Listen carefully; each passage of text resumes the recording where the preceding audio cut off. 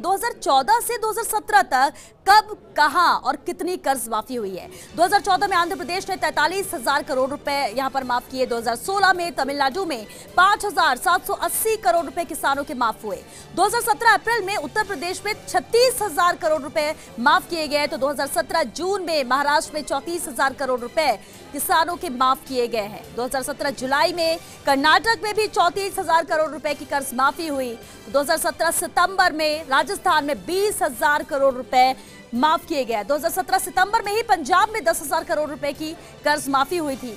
इधर 2014 में आंध्र प्रदेश ने तैतालीस हज़ार करोड़ रुपए माफ़ किए। चार सालों में ये कर्ज माफ़ी इन राज्यों में हुई है। तमिलनाडु में जहाँ पाँच हज़ार सात सौ अस्सी करोड़ रुपए माफ़ किए गए हैं तो वहीं उत्तर प्रदेश में छत्तीस हज़ार करोड़ रुपए दो सत्रह अप्रैल में माफ़ किए गए। तो इन चार सालों में कर्ज माफ़ी ये की गई है इन राज्यों में।